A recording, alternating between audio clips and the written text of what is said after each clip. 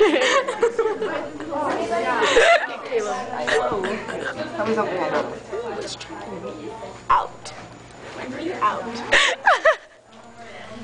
Alright, let's make these. Our first choice, of course, was Billy, No!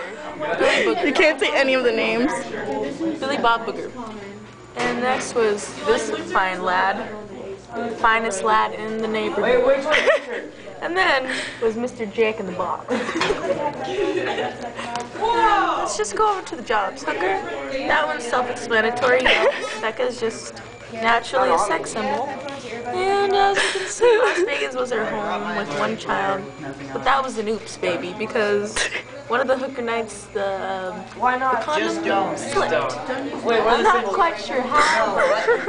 It happened. It happened to me. It's gonna happen to you.